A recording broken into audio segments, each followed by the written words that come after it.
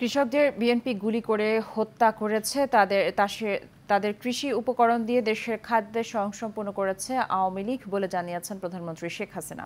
গণভবনে প্রথমবারের মতো জাতীয় স্থানীয় সরকার দিবস উদযাপন অনুষ্ঠানে এসব কথা বলেন প্রধানমন্ত্রী শেখ হাসিনা। সাধারণ মানুষের কল্যাণে কাজ করে আওয়ামী লীগ জানিয়ে সরকার প্রধান বলেন, দেশে কোনো মানুষ যেন দরিদ্র না থাকে, সে লক্ষ্যে কাজ করছে সরকার। প্রধানমন্ত্রী বলেন, দেশের অস্থিতিশীল করেছে বিএনপি, সেই দেশের আওয়ামী লীগ ক্ষমতায় আসার পর স্থিতিশীল পরিবেশ বজায় রেখে শহর থেকে গ্রাম পর্যন্ত উন্নয়ন হয়েছে। এ সময় জনপ্রতিনিধিদেরকে দেশের উন্নয়নের ধারা অব্যাহত রাখতে যথাযথ সেবা পালনের মাধ্যমে জনগণের কল্যাণে কাজ করার আহ্বান জানান প্রধানমন্ত্রী শেখ হাসিনা।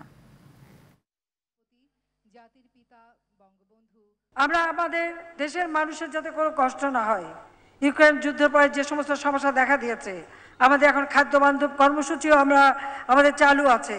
একান্ন লক্ষ জন উপকারভোগী। তাদের খাদ্য বান্ধব খাদ্য বান্ধব কর্মসূচির আওতায় আনা হয়েছে। বর্গা চাষিদের আমরা কৃষি ঋণ দিচ্ছি। আগে বিনা জামানতে বিনা জামানতে বর্গা চাষিরা কখনো কৃষি ঋণ পেত না।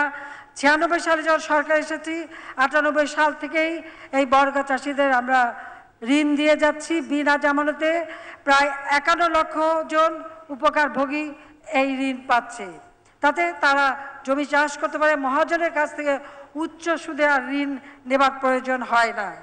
আমাদের যুব সমাজ, তাদের জন্য আমরা কর্মসংস্থান ব্যাংক দুই লক্ষ টাকা বিনা জামানতে ঋণ নিয়ে নিজেরা যাতে ব্যবসা বাণিজ্য করতে পারে, সে ব্যবস্থা নিয়েছি। এসএমই ফাউন্ডেশন, তার মাধ্যমে আমাদের মহিলারাও অল্প সুদে ঋণ নিতে পারেন, ব্যবসা বাণিজ্য করতে পারেন। সে সুযোগ সকলের জন্য করা আছে। শুধু মহিলাদের জন্য সবার জন্য আছে। মহিলাদের জন্য বিশেষ সুবিধা দেওয়া আছে।